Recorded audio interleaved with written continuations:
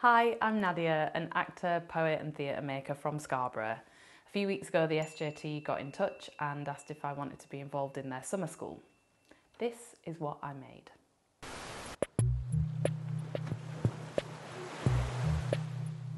So my name is Otis Mensah. Um, I'm a hip hop artist and uh, I guess a spoken word poet. I'm the poet laureate of Sheffield, or, or for the for the time being.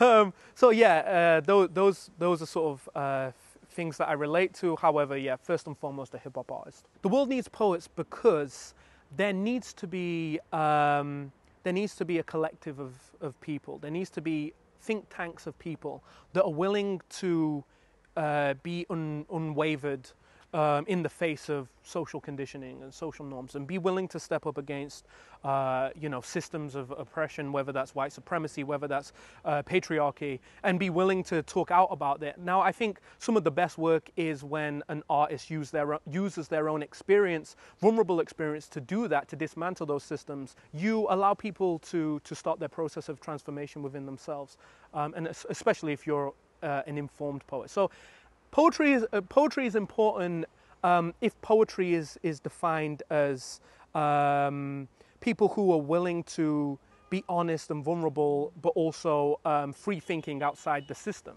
I had a dream I went to see the roots. The atmosphere was electric. Questlove played an eternal break of undoubted flavour to call out Black Thought, who rushed the stage like a floating spirit both hurrying and taking time in one.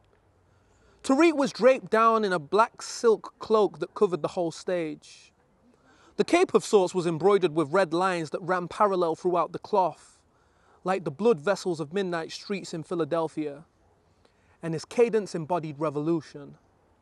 Like the dreams of my youth, when in sleep I sought out the validation of favored artists, I woke myself up with a croaked inner voice proclaiming, I need that. I was speaking of the cape. If only I could wear its skin like my own and feel what it feels to be the sound of reverence and just rest. Rest in it. The poems that I performed uh, for this film are from a, my debut poetry collection called Safe Metamorphosis.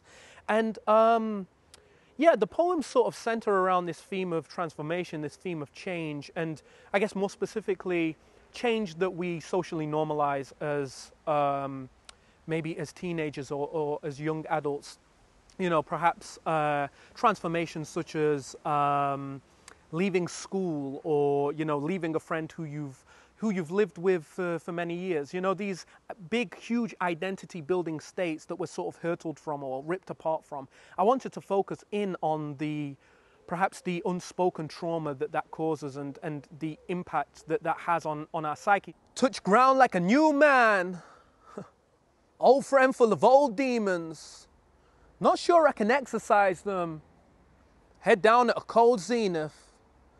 Not sure that I know myself, but assured you don't know me either. Yet you're surprised at that advice that you comprise depleted. I can't surmise that all the words that leave your lips aren't lies. And I can see myself inside the things I've criticized. Living life on a lonely edge. No friends trying to talk me down. My delusions of grandeur expand until they break my body bound. Purpose is a hobby cloud. Gripe shy as I groan and frown. I'd love to roll around, but I'm on the edge. Burnt to the marrow a mess. My choice is as narrow as death. I'd love to wallow way less. Over sorrow, dead morals, and stress, I barely ponder at most. I'd like to visit the coast, write novels on hollow post-modern distress. Man shakes in the cold street, ask me for some spare change. I said, pray tell, I've seen myself through better days. I proclaimed that I had nothing, implying that I've got something. Cause nothing is freedom to think, and that's a victor's trumpet. There's a child in every adult commuting. The imposter in the mirror is grueling. Every dream takes me closer to wiser, but every dream is just a dream that is fleeting. Uh, so, my advice to people who are starting their poetic journey as a creative um, would be to never pressurize yourself under the under the, I, I, guess, the, the tyranny of, of what it means to be a productive creative. This idea that you've got to get, you've got to wake up at the crack of dawn and write your soul's content, and you know, it's, it's you, you've got to publish your first book by the time you're 18, etc., etc.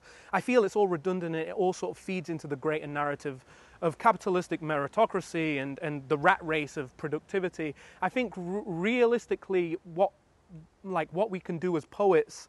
Um, to have a sort of integrity filled poetic journey and creative journey is give our, our, ideas the the space and the time that they need to grow and develop you know? And i think that means thinking a little bit outside of um, societal pressures.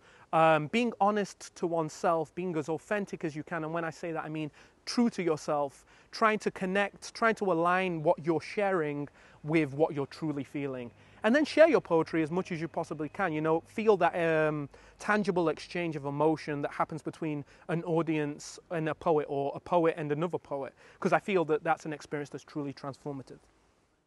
So I'm just going to ask you a few questions about like your process and you as a poet in general, and yeah, we'll just go from there. Uh, can you start with telling us who you are what you do and where you're based.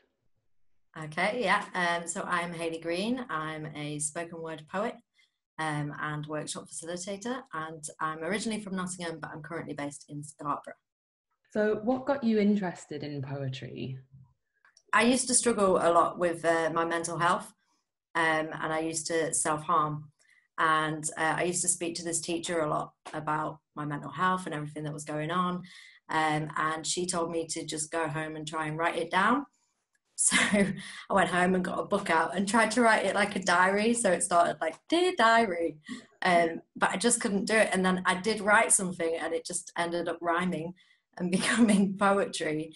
Um, and so that was sort of my way of getting all my feelings out. Um, so I just continued doing that to help me um, kind of get through difficult time um, I got into performing and learned how to kind of not like my poems used to be really rubbish. So it taught me to kind of like hone my skills and create good poetry uh, and how to perform it. So uh, that's how I got into it. Like, how would you describe your work now? As I started performing and learning how to kind of use different poetry techniques and different poetry skills, um, you know, a lot of people started saying how much it was helping them um, like to hear my stuff. And it kind of i kind of created it kind of went from creating this thing for me just to get my emotions out um, to becoming to creating it to make it accessible for other people. Can you tell us a bit about the poems that you've decided to choose for this project? I can. Um, so i've chosen two poems. One is called playtime uh, and one is called Changing Rooms. So Playtime was actually written first. Um, we did a workshop a while back on sestinas, um, which is a very, very difficult poetry form. I won't try and go into kind of explaining it, um, but do look it up uh, because they're amazing, but they're really difficult to write. Uh, so it's essentially you sort of use the same words and you repeat them over and over again um, and and it kind of makes something new. I'm 12. I am cemented in a changing room. There are girls tiled on both sides, and I don't know where to look. I'm taking first spot behind the showers. Don't look, don't look. I climb up. Makeup dolls and curiosity making me want to stare, but I divert my eyes to the floor and try to avoid their glares. Pop away your tongue. I'm not a lollipop. And this is not a sweet shop. She spent 10 minutes studying her timetable this morning. PE. The two letters alphabetically spaghettied around the blue and white stripes of her school planner. Her heart, overcooked soup in her chest that hasn't heard from puberty, unlike these other girls around her, she is yet to develop breasts. So I take a peek.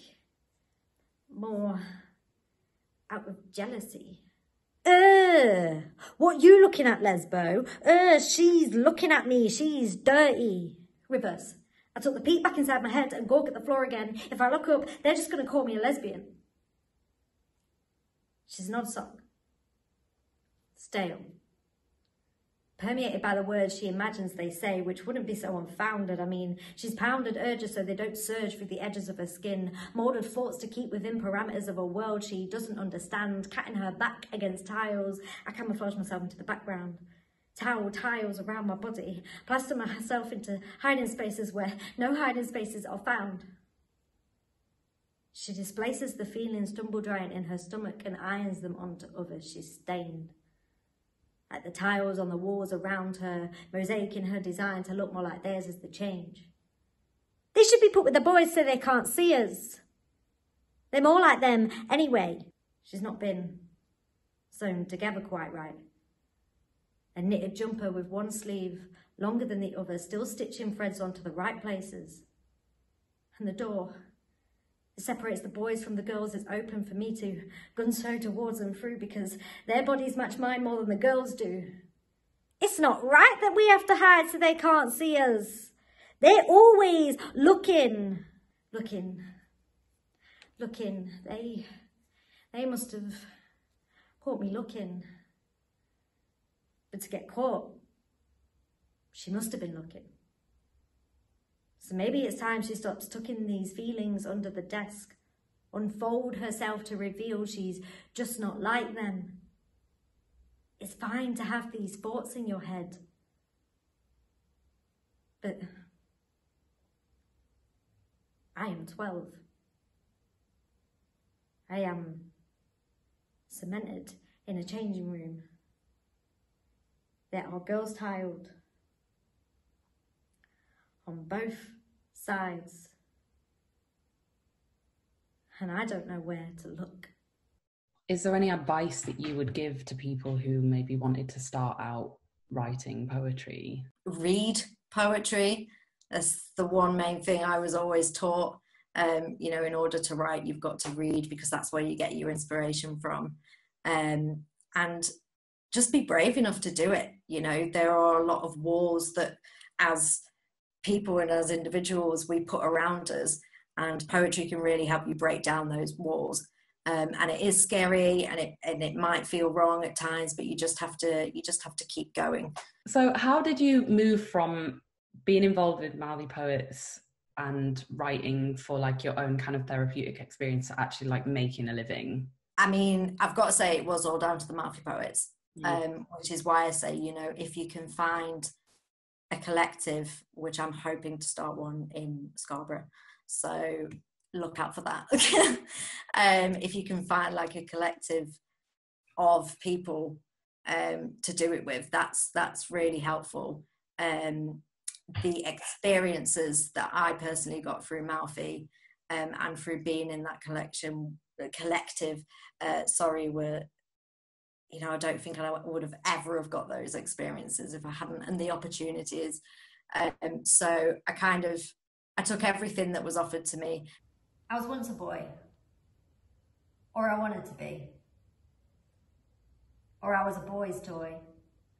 A battered AK-47, plastic bullets pelting my body, revealing within me the girl. My mother dressed me as a girl. Football let me be a boy. I'd try to break my body, carving how I wanted to be, like like a Ken doll. Plastic. Bones don't snap like toys. I'd reshape changeable toys, make the boys girls, give them boobs of plastic and make the girls boys. Dress them in clothes I wanted to be wearing, but my brother's clothes fell off my body. I scarred my body. My skeleton was a toy they told me how I should be, how I should be a girl for those testosterone pumped boys, firing bullets into me, no longer plastic. I wished my bones were plastic so that I could break my body and glue it back together as a boy. So I didn't have to be their toy. So I don't have to be a girl, just me who I wanted to be. I'm now who I want to be. No longer manipulating anatomies from plastic. I'm just in love with a girl and her effortlessly sensual body, the antithesis of toy. I never wanted to be a boy. Carved like a toy from plastic or a plastic girl moulded from a boy's interpretation of a body of a girl.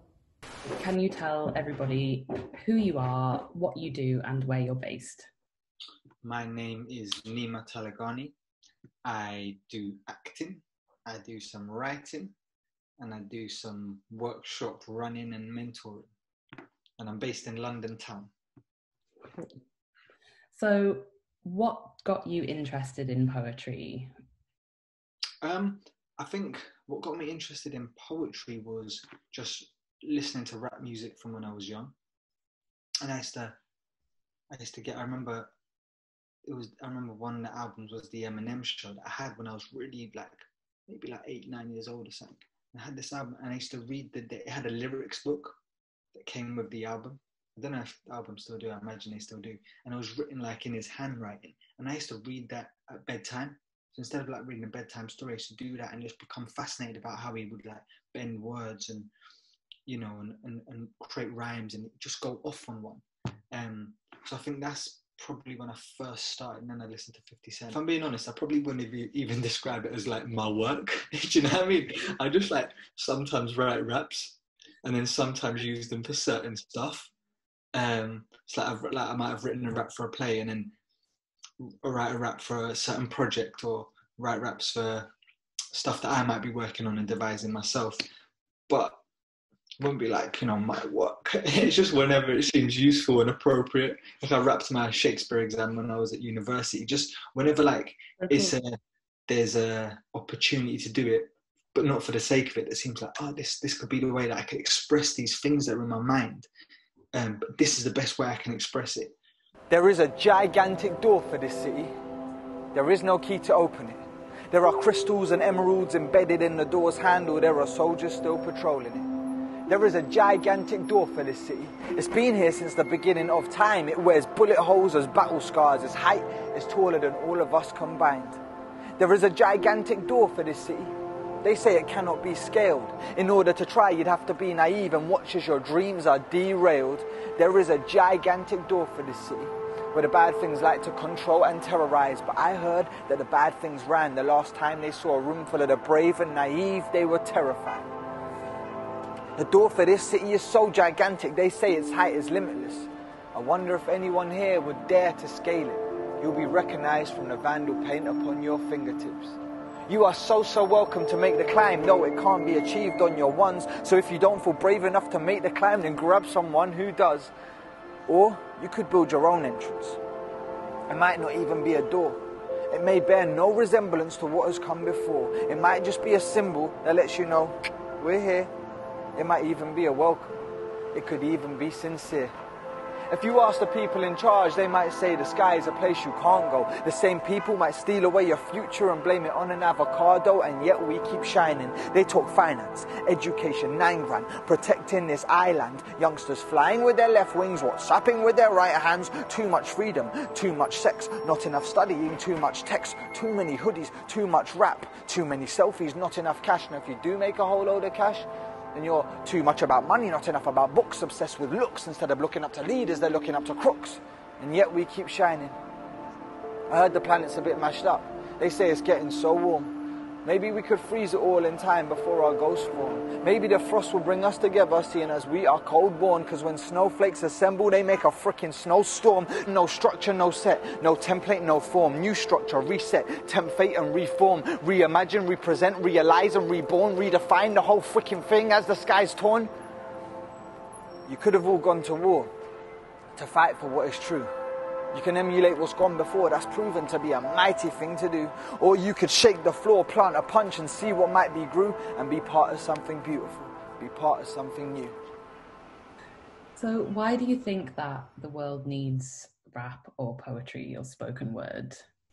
I think it's very important because I think it's historically like protest music. And it's also important because I think the people who do it, who perform it, and who love it, and who cherish it, and the cultures and communities that it's part of, tend to be marginalized, tend to be looked down upon, and it tends to be seen as like a lower art form. Um, and it tends to be seen as something that promotes bad things, whereas there's a lot of artists and creatives that actively promote terrible things through their music or through their work, but it's just not seen in the same way. Um, but I think it's, I think it's like, sort of like that kind of like in a way the highest art. Like if you watch rap battles, it is mind blowing the artistic like integrity and versatility and intelligence in a in like a in a high high quality rap battle. It's like nothing I've ever seen before. Any advice that I would say is for anyone who enjoys it, it is just to trust your voice and to if there's something that you cherish that you enjoy and feels organic and natural um, don't feel like because it might not be heralded as some of the loftier art forms that that you shouldn't do it. I think if this is the way that you express yourself, then ride it till the wheels fall off, and know that don't doubt it. I think there's it's easy to doubt it, and when you doubt it, you will fail because you doubted it, not because you weren't good enough or your heart wasn't in the race. If that makes sense.